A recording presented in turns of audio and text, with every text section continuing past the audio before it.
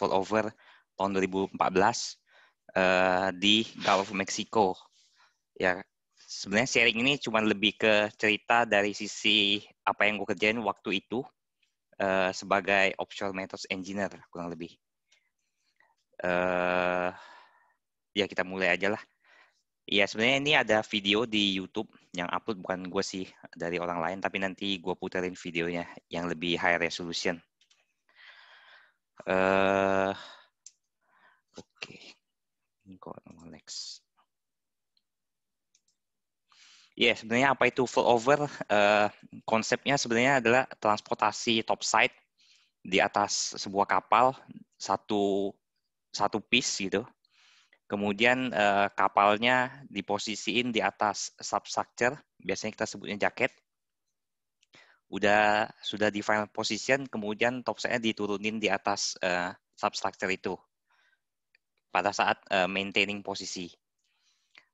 Kemudian uh, topside platformnya itu di let's say di engage di atas jaket yang sudah terpasang duluan dengan cara flow over method pakai cargo batch dengan dibalas.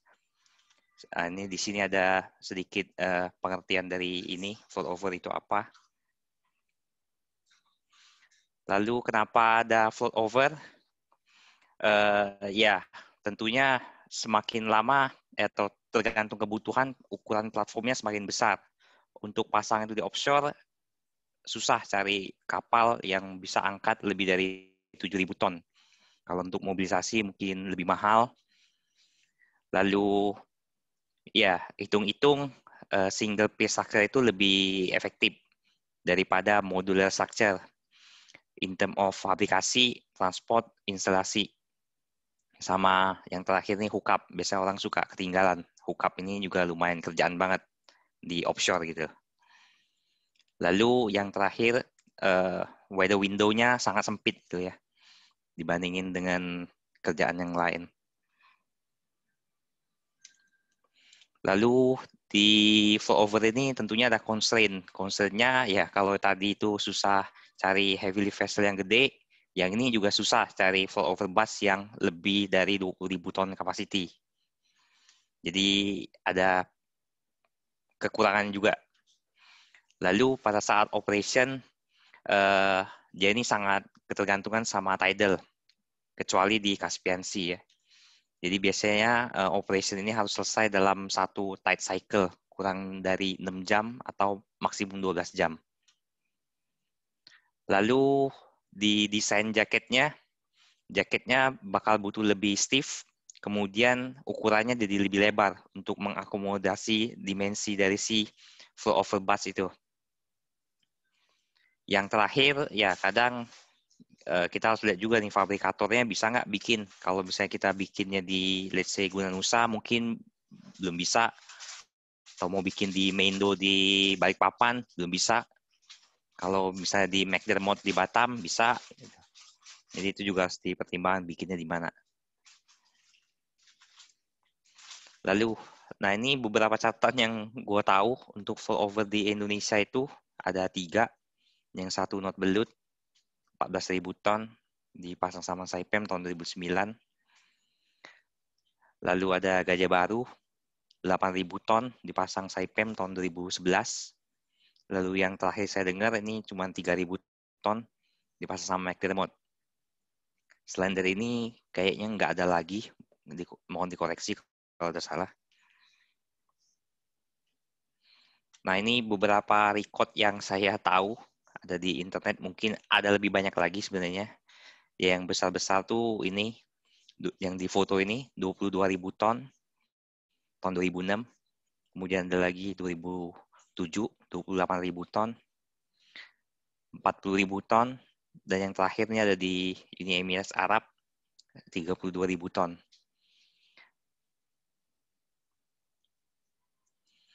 Nah, eh, apa aja sih yang disiapin untuk eksekusi pekerjaan flow over ini?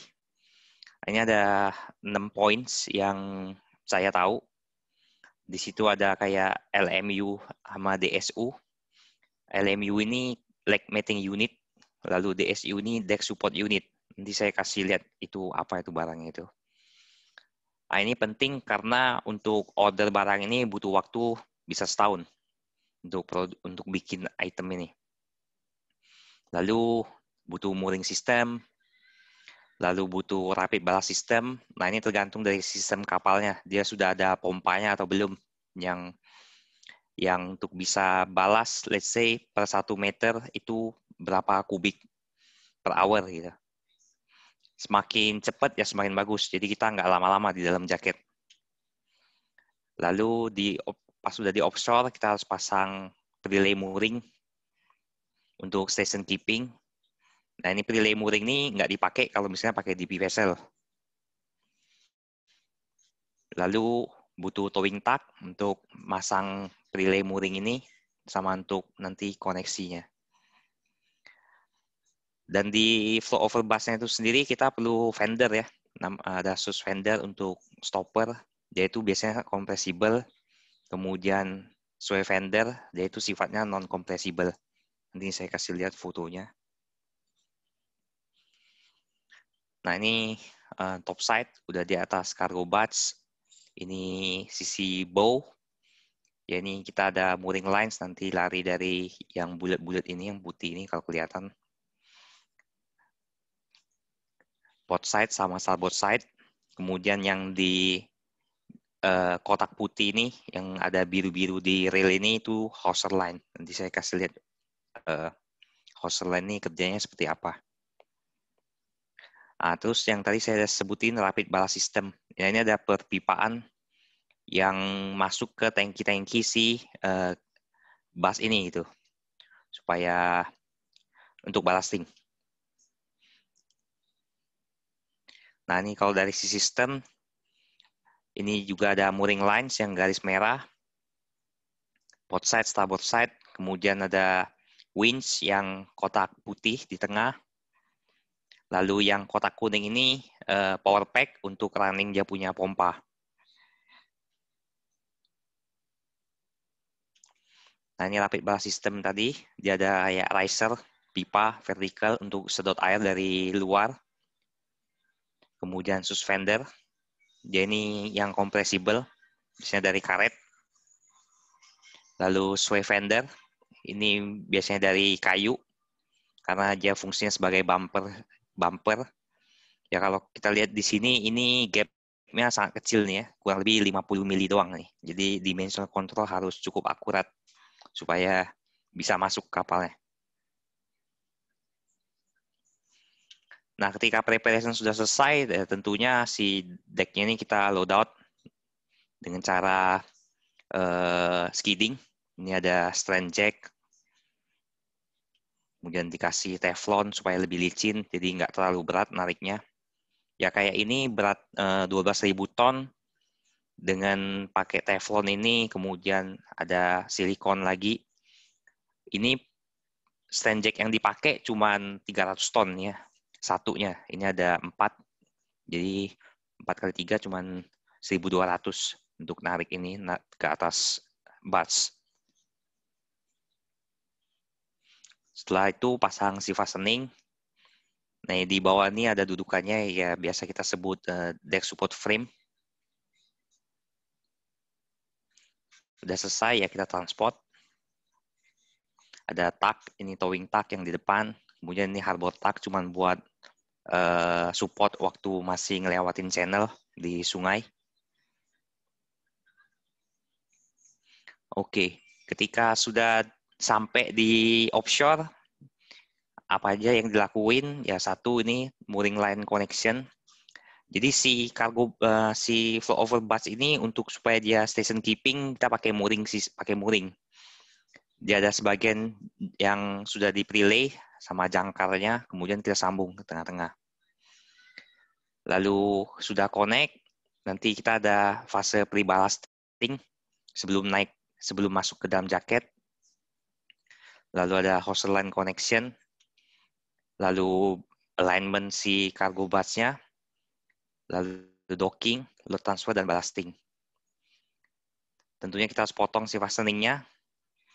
Setelah selesai, kita keluar. Lalu mooring lainnya di disconnect lagi. Nah, kurang lebih ketika di offshore seperti ini. Zaman dulu belum ada drone. Ini ini foto not belut. Jadi foto ini harus pakai helikopter, sangat mahal dibanding sekarang cuma bawa drone. Harganya cuma 1000 dolar. Yang putih ini adalah mooring system. Ya dia di antar di tengah-tengahnya ada sambungan lah yang dipasang sama si takbut ketika lagi posisinya sekitar 500 meter dari posisi final. Ini sebenarnya posisi final.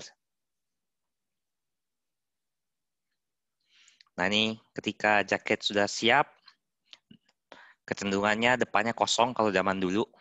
Jadi takbutnya bisa masuk. Takbutnya masuk. Setelah masuk kita pasang hose line yang tali yang crossing ini. Nah ini kalau yang zaman sekarang eh, kecenderungannya di depannya juga sudah ada modul, jadi kita udah nggak bisa lagi pakai takbut, harus pakai teknik lain untuk bantu si float over busnya masuk ke dalam jaket. Nah ini alignment uh, sisi paling depannya cargo bus sudah kurang lebih nyentuh si jaket hose line-nya kencang, kita mulai masuk pelan-pelan sampai dengan posisi akhir. Uh, suspendernya sudah nyentuh si jaket leg, lalu kita mulai proses uh, mating sama load transfer. Nah ini uh, cross sectionnya dari tampak belakang. Yang tadi saya bilang uh, tidal itu sangat penting ya. Jadi kita harus tahu kapan dia high water, kapan dia low water. Kita masuk pada saat high water, dia uh, flow over yang sudah dibalas sehingga ada clearance antara bottom bottom leg sama kaki jaket seperti foto yang di kanan ini. Setelah sudah uh, final position, kita mulai. Nah ini yang tadi uh, leg mating unit tadi. Ini posisinya di dalam kakinya topside ya. Dia sifatnya kompresibel.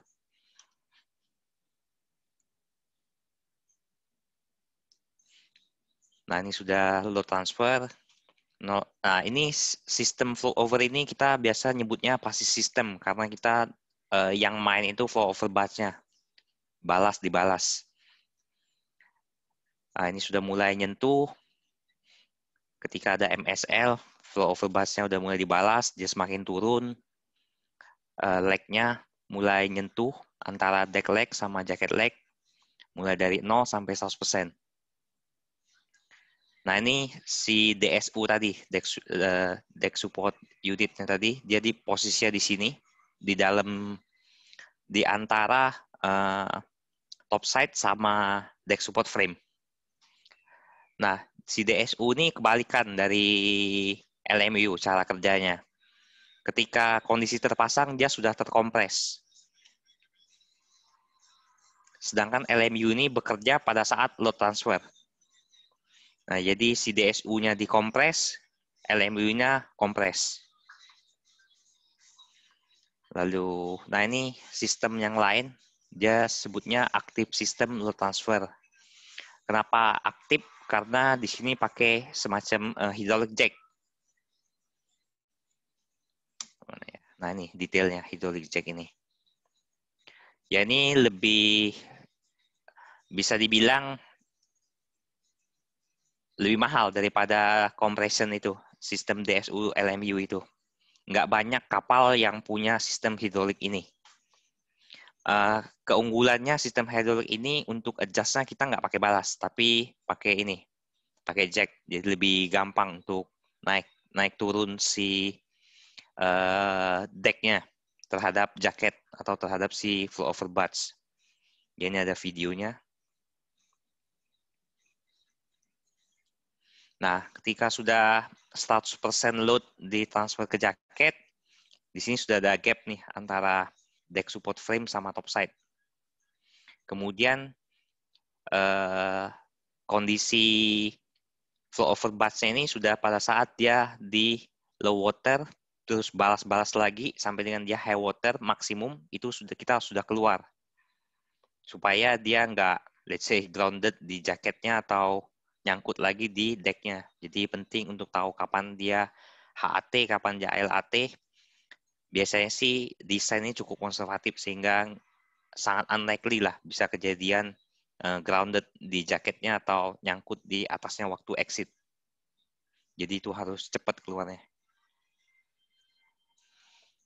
Nah ini metode lain lagi selain LMU itu dia itu di ini dipasang di kakinya jaket ya. Uh, selain ada si, sistem yang kompresibel, yang ini elastomeric ring ini, dia ada juga si senjek. Jadi si uh, elastomeric ini dia cuma bekerja mungkin 50% load, sudah 50% load transfer, separation-nya sudah ada antara si bus sama ini, tapi sistem ini tetap lanjut uh, transfer dia punya load sampai 100% dengan cara si stand jack-nya ini keluar. Dia ada semacam valve-nya gitu.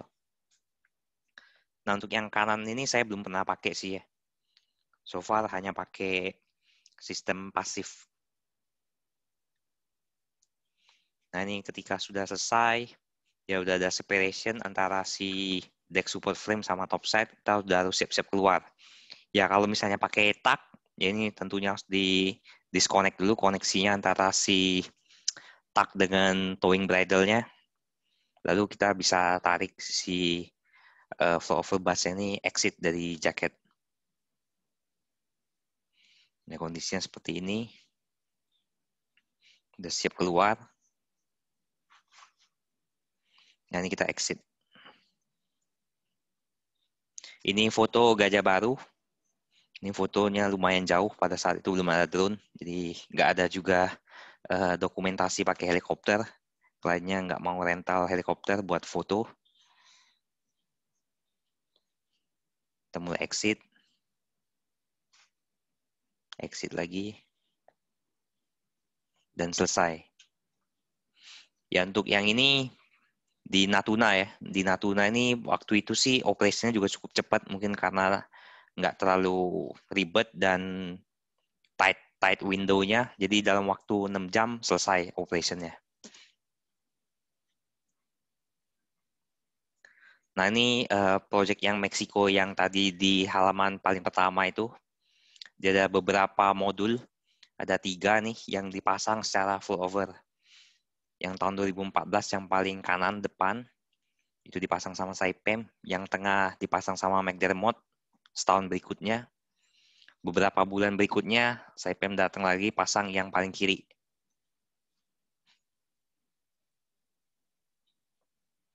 Nah, ini contoh project lain di Caspian Sea, yaitu uh, ini water depth-nya kurang dari 9 meter ya, jadi sangat langka nih proyek-proyek yang kayak gini. Nah, yang tadi saya bilang, ternyata di Caspian Sea itu nggak ada tidal, atau mungkin tidalnya kecil sekali. Nah, kalau nggak ada tidal, uh, kita harus pakai taktik lain selain uh, ballasting, tapi kita nggak perlu sistemnya rapid ballast karena kita cuma perlu separation sedikit aja. Contohnya ah, gambar yang di sebelah kiri ini, itu mungkin dia clearance-nya satu meter antara cone sama si uh, eh, LMU-nya. Tapi dia harus balas 2 meter ke atas. Ketika sudah positioning, ballasting sedikit, kemudian sudah kontak, 100% load transfer, balas lagi sedikit doang, di foto yang paling kanan bawah, udah ada gap mungkin sekitar 5 cm, kita bisa tarik ini yang nama spacer ini. Ya spacer ini mungkin tingginya bisa setengah meter sampai satu meter ya. Ini karena nggak skill. Nah lalu dengan keluarin spacer ini kita udah ada gap sekitar satu meter antara deck support frame sama si top setnya. Nah, untuk itu kita nggak perlu balas lagi. Kita udah bisa langsung keluar. Nah, takutnya kalau dia balas lagi, ini karena water depth-nya kurang dari 9 meter, nanti si over bus-nya bisa grounded. Nah, itu bahaya, repot kalau sampai grounded. Nggak bisa exit ya. Ya, ini foto tahun 2014. Ya, tentunya di Caspian Sea ini susah ya, karena dia itu semacam kayak danau, jadi agak sulit untuk mobilisasi uh, heavy lift vessel untuk pasang modul-modul ini. Sehingga dia ada beberapa modul yang dipasang semuanya pakai metode flow over. Ada tiga nih kelihatan nih. Nah itu tadi karena butuh tak yang uh, untuk masuk ke slotnya si jaketnya ini, uh, dia nggak boleh ada yang ngeblok untuk supaya si takbutnya bisa lewat. Ya ini karena Caspian ini waktu winter dia dingin, jadi bentuk jaketnya nggak usual yang model bracing, dia semacam kayak uh, hal kapal gitu. Pada saat dari fabrikasi jadi ditransport masih floating, kemudian dia dibalas. Nah ini foto lain, dia modelnya semacam katamaran gitu, tapi masih di Eh, cantilever. Ini lebih sophisticated lagi. Kemudian ada slot, uh, modulnya dimasukin ke semacam kayak mono mono structure gitu untuk full overnya. Ya ini hanya sekitar summary. Uh, kalau ada project full over itu ya kecenderungannya timnya hanya kecil saja, terdiri dari naval engineer, structural engineer, sama offshore method ini. Ya masing-masing departemen kayak naval ini yang paling kritikal gitu untuk yang berhubungan sama motion analysis, stability, bus length check, kemudian balas kalkulasinya, kemudian topside mating analysis, lalu mooring analysis. Untuk structural engineer, biasanya mereka ngecekin integrity dari jack jaketnya pada saat mating itu sama deck strength check-nya tentunya waktu transportation, lalu desain deck support frame sama si fastening. Lalu untuk method engineer sendiri dia lebih ke physical, physical preparation gitu deh. Kayak mooring system, sway suspender, lapik bala system, sama preparation dari si flow over flow over busnya itu sendiri. Nah, kurang lebih ya ini ada yang pertanyaan kurang lebih lah. Uh, apa sih sebenarnya tujuan utama dari kita ngerjain jacket mating impact sama topset mating analysis ini? Uh, dulu tuh waktu kuliah tahun kedua pernah ada Pak Tigor yang ngasih presentasi tentang flow over, tapi beliau backgroundnya struktural engineer, nah beliau cukup uh, apa expert ya di bidang ini. Intinya adalah kita ngecek semua load yang terjadi di interface antara topside sama jaket di LMU sama DSU itu dengan mempertimbangkan weather. Jadi itu semacam kayak sensitivity analysis untuk tahu kapan kita bisa execute itu uh, full over. Waktu di HS berapa, arah dari mana, periode berapa. Intinya dari situ. Thank you. Itu semua dari saya. Mungkin sebelum saya tutup ini ada video yang bisa di-share tentang full over yang pertama tadi dikerjain.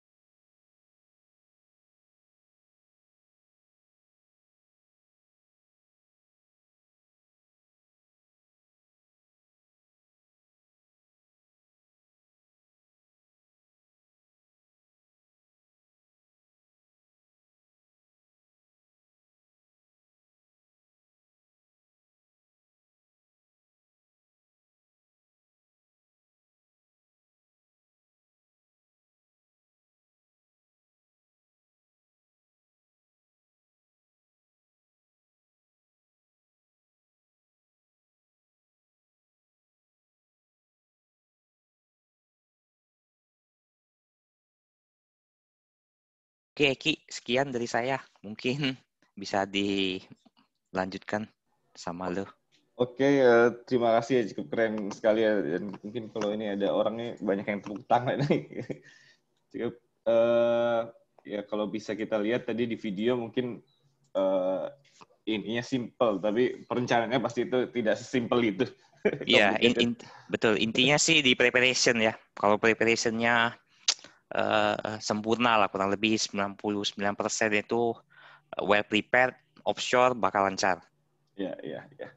Baik, uh, kita lanjut masuk ke sesi tanya jawab kali Henry.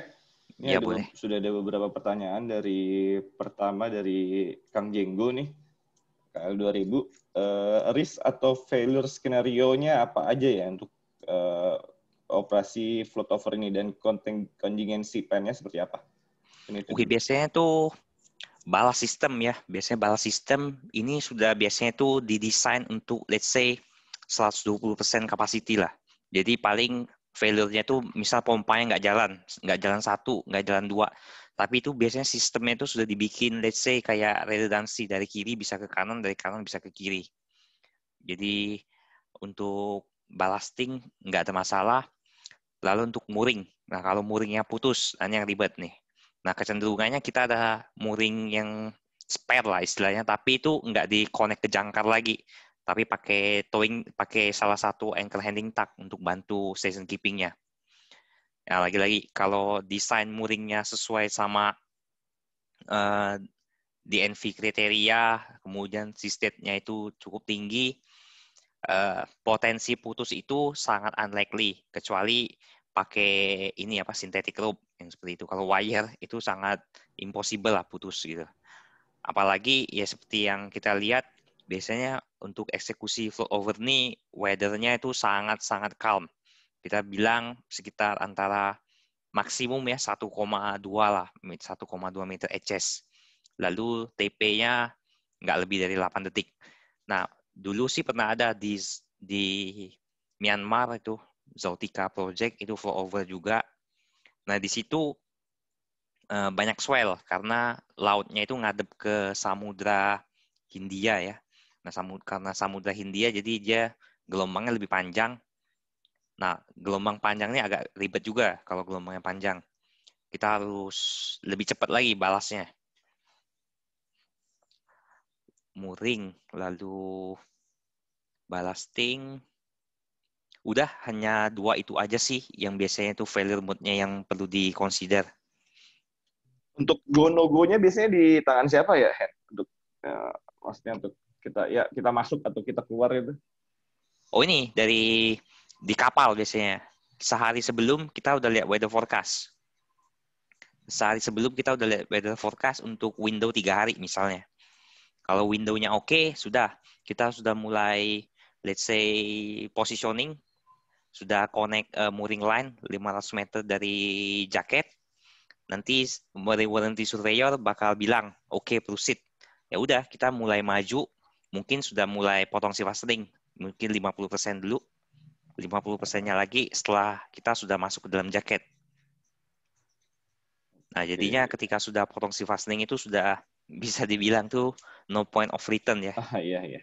Itu udah kayak udah pasti harus sikat eksekusi. Yeah, no no point of return. Oke, itu dari Kang Jenggo. Tapi tadi Kang Jenggo juga bilang uh, pamitan tertanya terlebih dahulu karena ada kepentingan lain. Kemudian ini ada dari Faisal uh, 2008. Ada ada beberapa pertanyaan nih. Uh, Barts harus dedicated atau bisa pakai Barts biasa yang ditambahin atau dimodif dengan sistem balas? Yang kedua, requirement desain khusus untuk jaket atau top setnya itu di consider juga waktu pada saat desain. Oke, okay. nomor satu uh, tergantung ya. Kalau misalnya kita pakai heavy transport vessel yang dia bisa uh, kayak semi submersible gitu, kita udah nggak perlu tambah uh, rapid ballast lagi. Kita nggak perlu tambah eksternal. Lalu untuk kayak yang saya pengen punya kapal, dia itu punya internal ballast system, tapi kapasitas per uh, kapasitas per hour-nya itu kecil karena dia bukan bukan dedicated untuk full hour operation, hanya untuk let's say jaket launching gitu loh. Kalau jaket launching kan nggak perlu buru-buru, jadi ya udah tungguin aja tuh jaketnya apa uh, busnya trim sampai dia ada trim berapa persen, udah. Nah kalau ini karena eksekusinya butuh cepet, ya kayak semacam flow over bus ini entah berapa puluh ribu kubik air yang kita harus uh, masukin keluarin gitu loh per satu meter displacementnya itu. Jadi, nah kalau pompanya kurang ya kita harus tambah. Lalu nomor dua, requirement desain khusus untuk jaket. Oh tentu dong. Nah, ketik uh, pada saat fit sih biasanya tuh udah ditentuin sih mau metodenya flow over atau lifting gitu loh. Nah, kalaupun waktu flow over ya udah desain pada saat EPC kadang didesain dicek lagi itu sesuai sama flow over busnya yang dipakai. Waktu itu sih kita juga sempat lah apa istilahnya jaketnya itu dimodif waktu yang saya ngerjain project ini karena pada saat EPC desain awal jaketnya kurang stiff gitu loh. Jadi dia harus tambah stiffener lagi supaya lebih lebih kaku lagi. Top setnya tentu gitu. Kita harus cek. Uh, berarti sedikit ini juga uh, terkait tadi bars berarti sebetulnya bars uh, apa aja bisa asal dimodif untuk keperluan foto overnya gitu ya? Gak Betul. Ya. Ya kayak yang tadi yang ke Podang itu itu kan cuman kapasitas cuman buat modul 3000 ton ya. Jadi ya tentunya untuk modul 3000 ton kita nggak perlu kargo bus yang besar-besar gitu loh. Nah kecenderungannya kargo bus yang kecil ini dia cuman kosongan, cuman punya tangki aja. Ya.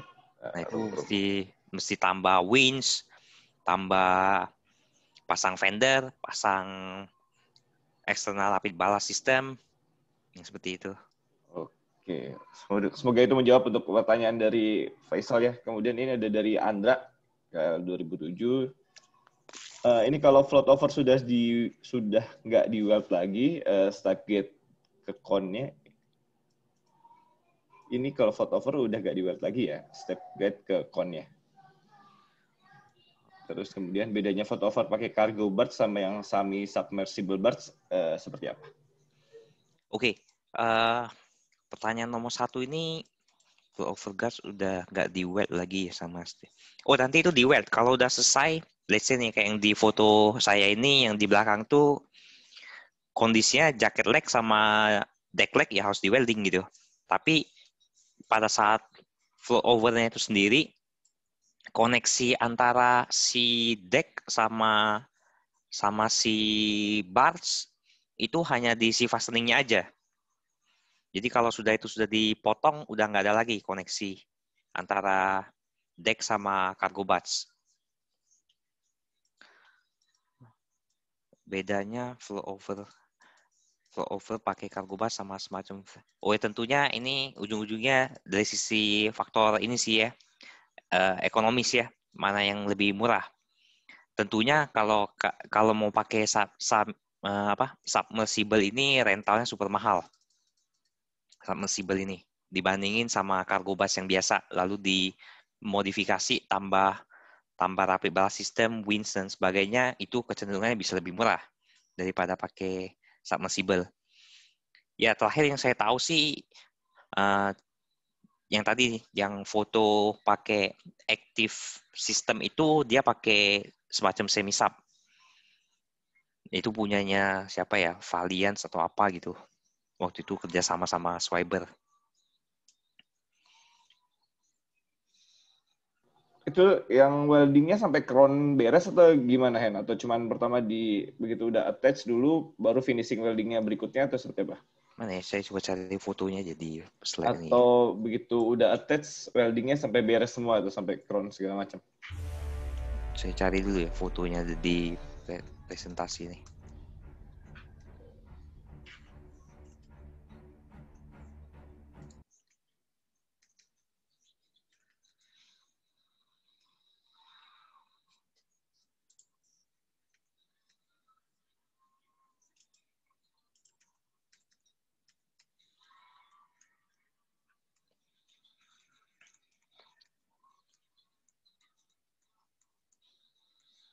Nih, contoh nih ya, foto yang di kanan ini. Antara kanan atas ya, itu kan ada yang bagian yang coklat ya sama yang kuning itu. Nah ini ya belum di, belum dilas. Nanti ketika sudah selesai uh, apa flow over busnya keluar ya nanti akan ada pekerjaan hookup ya yang kita las ini antara top set leg sama jacket leg itu udah udah pasti itu. Jadi uh, barca bisa keluar dulu baru bisa di terakhir ini ya. Iya, nah yaitu kita nyebutnya pekerjaan hookup lah. Ya. Itu nanti dilas tentunya. Jadi ada foto lain sih sebenarnya.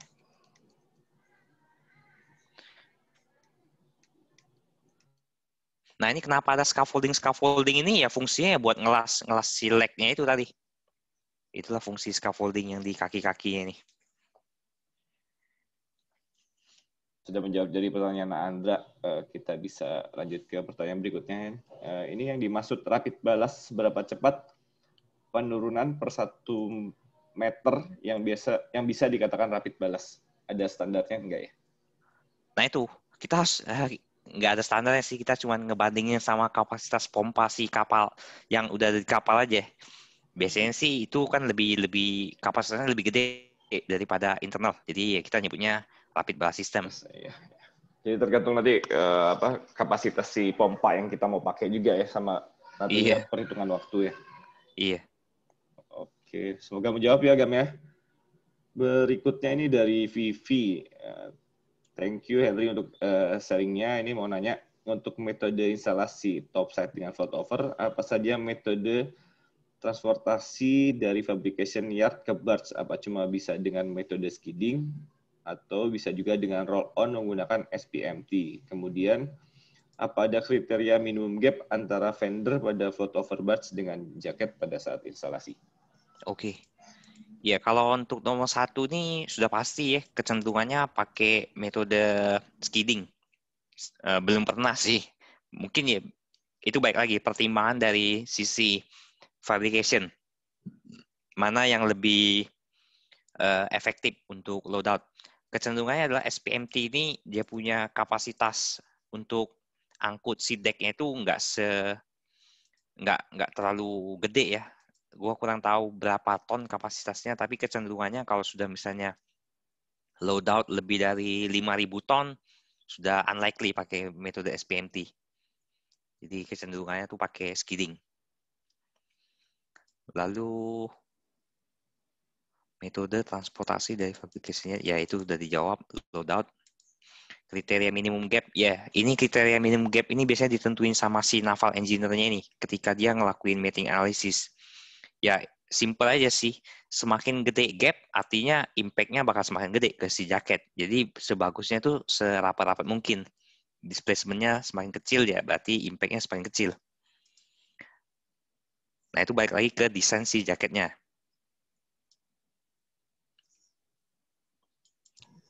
Kurang lebih seperti itu sih, Ki. Oh. Harusnya menjawab. Oke, ini satu lagi nih dari Kang Lutfi uh, Om Henry, Saipem ada rencana membuat vessel serupa dengan Pioneering Spirit? Uh, setahu yang saya tahu sih kayaknya nggak ada deh. Hari gini mah nggak kurang worth it bikin kapal baru. Bisnisnya udah kurang sustainable. Lebih baik uh, sewa kapal karena kerjaannya sekali-sekali doang. Oke, mungkin Saipem juga udah mulai mikir ke renewable buat itu ya, wind farm. Kalau kayak di China sih ya, mereka setahu saya tuh udah banyak banget follower yang terakhir gitu. Dulu mereka mungkin belajar dari project Gajah Baru, setelah itu banyak project follower di China. Mungkin mereka udah ngerjain sekitar 30 follower setahu saya. Sementara di Indonesia cuma tiga gitu. Ya, mungkin ada lagi uh, pertanyaan dari rekan-rekan sebelum ini kelihatannya jam 5 bisa kita tutup nih karena pada mau ngabuburit dulu nih kan. Cuman uh, terima kasih buat uh, uh, presentasinya walaupun singkat kita tahu lah complicated dari uh, pekerjaan ini. Oh, mungkin saya satu lagi itu Hen yang tadi apa? Line tadi itu kenapa di crossing ya? Dan itu emang guiding line-nya ke ke jaketnya ya? Iya, Hauser Hauser line. Hauser line itu ya. Iya. Itu memang lebih lebih Nah ini kan contoh ya. Silang-silang nih paling enak gitu untuk untuk alignment yang paling gampang tuh silang. Kalau misalnya lurus itu susah kontrolnya. Itu ada semacam uh, katrol atau seperti apa itu di itu ya? Di mananya ya? Di jaketnya itu atau cuman kontrolnya? Cuman tie point aja kayak di gambar yang di foto, di video tadi itu ada semacam kayak bolatsnya gitu deh di bagian hmm. jaketnya untuk kita sangkutin si ininya. Nah, jadi tetap kayak apa di di go di go balik lagi ke barsnya berarti kontrolnya di bars ya? Iya betul, kontrolnya di bars. Nah ini kan, nah ini ya. gam, yang di leg D1 ini ada semacam kayak bolasnya itu, ya udah kita cuman connectin ke situ aja angkornya itu. Iya iya. Winch-nya ada di bars. Tetap ada di bars. Iya. Oke. Kan, apa ada pertanyaan lagi dari teman-teman? Kalau uh, tidak, mungkin uh, kita bisa tutup dulu. Nanti misalnya ada, ada tanya jawab atau sesi diskusi berikutnya, mungkin kita bisa bikin santai setelah ini. Uh, terima kasih Henry buat waktunya. Teman-teman uh, juga yang sudah bergabung, mungkin. Oh ini ada satu lagi nih dari Arif. Kalau dari sisi cost perbandingan antara float over dan lifting, signifikan uh, berbeda tidak ya. Terus tadi ada constraint juga sulit untuk mendapatkan barge di atas 20.000 ton. Alternatifnya bagaimana eh, dari Arif? Yang pertama flow over, flow over sama lifting. Oke, okay, kita harus lihat dulu nih. Kita mau pasang deck yang beratnya berapa ribu ton dulu nih. Kalau misalnya kita bicara kurang dari 3.000 ton, itu tentunya lebih murah kita lifting karena dia single piece uh, single uh, impact-nya bukan di deck-nya tapi lebih ke jaketnya gitu loh. Jaketnya kan kalau cuma 3000 ton biasanya jaketnya kecil. Nah, jaket kalau misalnya kalau mau bikin flow over, jaketnya jadi lebih besar. Nggak worth it gitu. Jaketnya kemahalan. Untuk untuk nopang si deck yang cuma 3000 ton. Tapi kalau kita nggak lihat dari sisi aspek jaketnya, decknya aja, ya untuk desain uh, deck yang bisa diangkat itu jauh lebih uh, rumit daripada desain deck untuk full over karena uh, lifting ini butuh semacam kayak uh, bracing bracingnya untuk supaya dia nggak kolaps ketika di lifting. Nah, ini kalau structural engineer lebih bisa menjawab lah kurang lebih garis besarnya seperti itu. Contoh aja nih ya, kayak yang di foto saya ini, yang si bilitoral ini, deck ini kalau misalnya kita diangkat dengan desain seperti ini, ini pasti fail semua membernya gitu loh. Karena dia tidak desain untuk lifting. Nah, untuk float over sendiri, dia harus kuat di bagian bawah. Makanya ini di bagian bawah ini banyak bracing-bracing tuh, crossing-crossing sana sini tuh. Karena dia concentratednya lebih ke sisi bawahnya aja. Apalagi span-nya ini lumayan panjang, lebar nih ya, dari leg ke leg-nya ini. Mungkin bisa 40 meter gitu loh. Ya bisa dibayangin eh, defleksinya itu sangat kerasa nih. Ketika dia sudah standalone.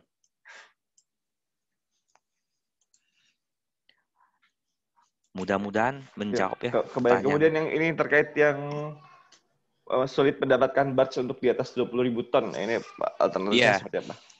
Sulit karena nggak nggak banyak yang punya ya. Saya pem cuma punya satu gitu loh. Dan itu pun juga sudah tua. Jadi kalau mau angkat 20 ribu mungkin udah nggak bisa. Cuma bisa angkat maksimum 12 ribu atau 15 ribu paling paling tinggi. Lalu China, China punyalah beberapa bus mereka bikin karena ya mereka sendiri juga proyeknya banyak seperti yang tadi gue bilang. Sudah 30 flow over mungkin yang mereka udah kerjain. Tentunya mereka lebih baik invest bikin uh, batch batch baru gitu loh untuk menservis pekerjaan dalam negeri mereka. Lalu dulu yang saya tahu Herema, Herema punya tuh. Selain itu kayaknya nggak ada lagi ya kontraktor yang punya bus segede itu karena kebutuhannya tuh sangat jarang ya.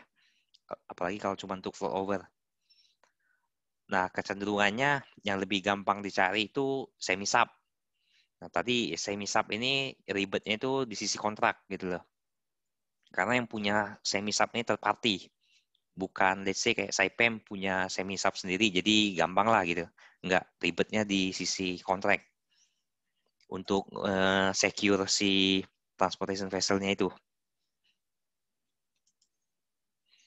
Jadi ya harus sudah di di apa namanya di fix in dulu metode metode instalasi seperti apa. Kita bisa yakin 90% si transportation busnya ini atau transport vessel ini dibook buat project gitu. Jadi nggak ada alternatif sih. Mudah-mudahan menjawab. Ya, mudah-mudahan menjawab. Mungkin uh, si ininya dikecilin kali ya, nggak sampai 20 ribu ton. Oke, berikutnya dari Kang Fikar nih. Eh, Saipem kalian paling besar berapa ton? En? Itu Saipem Saipem 7000. Jadi bisa angkat Saipem 7000 tuh dia dual crane satu crane bisa 7.000 ton, jadi total 14.000 ton. Tapi biasanya sih dia nggak angkat sampai full segitu ya. Maksimum tuh kayak 12.000 kalau nggak salah rekodnya. Tandem lift. Masuk safety faktornya berarti itu ya? Segitu. Ya, karena kan ada crane radius ya, semakin jauh hmm. lifting radiusnya ya semakin berkurang ini. Iya. Ya kalau mau crane yang lebih gede lagi yang punya Herema itu. Itu dia baru bikin untuk kapasitas 20.000 ton. Oke, Kang Fikar semoga menjawab, Kang. Masih ada lagi kah pertanyaan sebelum kita tutup secara uh, sharing sessionnya sendiri? Uh, jika tidak ada, mungkin saya sudahi dulu di sini. Uh, terima kasih Henry. Kemudian uh, buat teman-teman juga terima kasih. Mungkin bisa sesi foto dulu ya. Boleh kok closing dulu. statement nggak Ki? Oh boleh boleh boleh, mangga mangga mangga. Iya sebenarnya cuma mau menyampaikan ya kerjaan full over ini super langka. Ya kebetulan aja ketika waktu assignment di Houston itu ada project full over ini jadi saya bisa ikutan gitu. Kalau enggak juga mungkin nggak pernah ngerjain sama sekali. Ya kayak ini project tahun 2014 kita nggak tahu uh, kapan bakal bisa terlibat di project full over yang berikutnya gitu. Ya ketika ada kayak sharing seperti ini mungkin dari senior lain atau siapa pun alumni kelautan yang mungkin bisa berbagi insight project apa pun itu ya bagusnya di sharing sih. Jadi kita juga sama-sama belajar gitu lah tukar tukar knowledge istilahnya. Karena ya kayak gini saya nggak tahu ya apakah ada kelautan lain yang pernah ngejalan flow over jadi cukup sayang kalau ada ilmunya nggak di sharing juga gitu lah. Memang tujuan sharing ini bukan jadi expert tapi at least punya insight lah. Oh butuhnya ini ini nanti ya bisa lebih diperdalam ketika masuk ke projectnya. Kayak saya dulu juga nggak tahu apa-apa sih, cuma tahu basic. Oh butuh sesuai vendor, butuh ini, butuh itu, oke okay, ya sudah. Pas sudah mulai masuk project, baru kita lebih bisa uh, pelajari lebih dalam lah. Meskipun tidak harus jadi expert gitu. Iya, benar sekali sih. Itu sangat bermanfaat ya. Setidaknya kita ada gambaran buat ini. Iya. Yeah. Apalagi proyeknya itu nggak tahu kita jarang, 10 tahun jarang. lagi belum tentu ada gitu di Indonesia. Lalu siapa lagi itu yang bisa ngerjain apalagi orang Indonesia sendiri itu kan. Yes, betul betul betul. Oke, itu beri, uh, barusan closing statement dari Henry. Jadi tidak menutup kemungkinan dari uh, partisipan yang ada nanti mungkin di lain waktu juga bisa uh, berbagi juga terkait keilmuannya atau pengalamannya. Oke, sebelum menutup kita bisa menyalakan handphone uh, sharing screen-nya di stop dulu. Kita nyalain video buat uh, foto session. Di mana ya ini ya? Pause, pause share ya? Udah kan ya?